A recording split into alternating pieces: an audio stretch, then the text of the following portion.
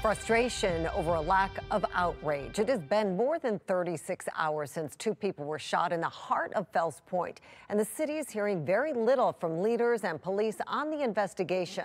Alexa Ashwell is live in Fells Point with the very latest on this case for us. Alexa? Well, Mary, the big question that remains what led up to this double shooting, why a man and a woman were shot here down South Broadway Street outside the shops and restaurants, and who police may be looking for, and the majority of city leaders seemingly quiet. A man shot in the head, a woman shot in the arm, two suspects on the run. They go fled south on Broadway towards Spain. And a community left frustrated and you can't walk out your door. And in fear. It's been a lot going on as far as like violence in this area. It's been more than 36 hours since two people were shot here on South Broadway Street, and Baltimore police not yet saying what they believe led up to the shooting or releasing any suspect information. A spokesperson confirming the man remains in critical condition and writing in part, once we have additional details that will not compromise the integrity of the investigation, they will be made public. This is one of your most attractive tourist areas.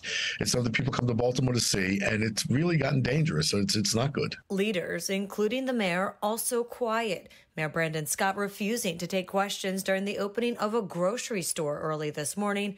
A spokesperson telling Fox 45 News to instead email questions. We need to be outraged. Longtime resident, former Fells Point business owner, and now city council candidate Claudia Tolles frustrated by the silence. These kinds of incidents are being normalized because of their silence, because of their lack of outrage, because of their lack of action. Fox 45 News questioning Councilman Zeke Cohen, whose district includes Fells Point.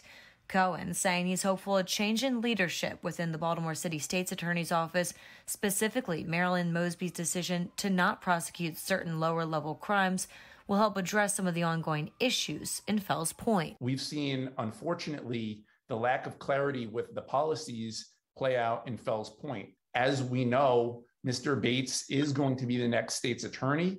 And I have asked uh, our law enforcement partners to proactively partner with him and make sure that there is clarity around where we are going with some of his policies.